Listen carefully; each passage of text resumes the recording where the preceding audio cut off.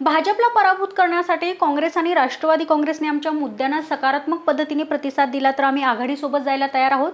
परंतु हा निर्णय आघाडीने लवकर घ्यावा. उद्यापर्यंत निर्णय नाही घेतला तर आम्ही आमचा मार्ग मोकळा करू असा इशारा स्वाभिमानी शेतकरी संघटनेचे खासदार राजू शेट्टी यांनी दिला आहे हातकणंगलेसह लोकसभेच्या बुलढाणा आणि वर्धा या तीन जागांसाठी स्वाभिमानी ठाम असल्याची माहिती खासदार राजू शेट्टी यांनी पत्रकार परिषदेत दिली आहे.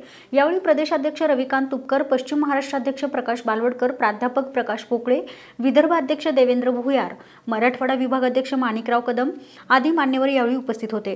राष्ट्रवादीने आमचे काही मुद्दे मान्य केले आहेत परंतु आघाडीच्या दोन्ही पक्षांनी हे मान्य केलं पाहिजे. तर आघाडीत जाण्याचा विचार करू बुलढाण्याची जागा राष्ट्रवादीने सोडावी आणि वर्ध्याची जागा काँग्रेसने सोडावी असा प्रस्ताव ठेवल्याचंही त्यांनी यावेळी स्पष्ट केले. एकतर एकूण सध्या ज्या राजकीय घडामोडी चालू आहेत त्या संदर्भामध्ये चर्चा करण्यासाठी स्वाभिमानीच्या कोर कमिटीची बैठक आज पुण्यामध्ये आम्ही बोलवली होती.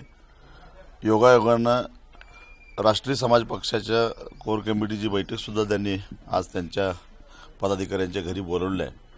आणि त्यामुळं आमच्या दोघांची भेट झाली. परंतु ही भेट राजकारणाच्या पलीकडचे आमचे व्यक्तिगत जे मैत्री आहेत त्या मैत्री संबंधातून भेट झाली. त्यांचा मार्ग वेगळा आहे माझा मार्ग वेगळा आहे. त्यांनी काही अजून महा यु- युती सोडलेली नाही. आघाडी सरकारमधून ते काही बाहेर पडलेले नाहीत. आणि सध्या भारतीय जनता पक्षाच्या नेतृत्वाखाली जे सरकार आहे ते सरकार पराभूत झालं पाहिजे केंद्रात आणि राज्यात.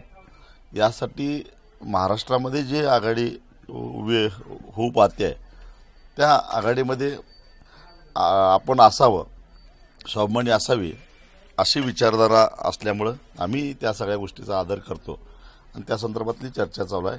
परंतु आमचंही अजून जागा वाटपाचा तिढा सुटलेला नाही. आज हातकणंगले हा मतदारसंघ काँग्रेस राष्ट्रवादीनं आधीच परस्पर जाहीर करून सांगितलेलं आहे की आम्ही तिथं उमेदवार उभा करणार नाही. परंतु बुलढाणा आणि वर्धा या मतदारसंघाबद्दल स्वाभिमानी आग्रही आहे. आणि त्या संदर्भात लवकरात लवकर निर्णय घ्या. दोन दिवसात निर्णय नाही घेतला तर आम्ही आमच्या मार्गाने जाऊ असं कालच आम्ही अल्टिमेटम दिलेला होता.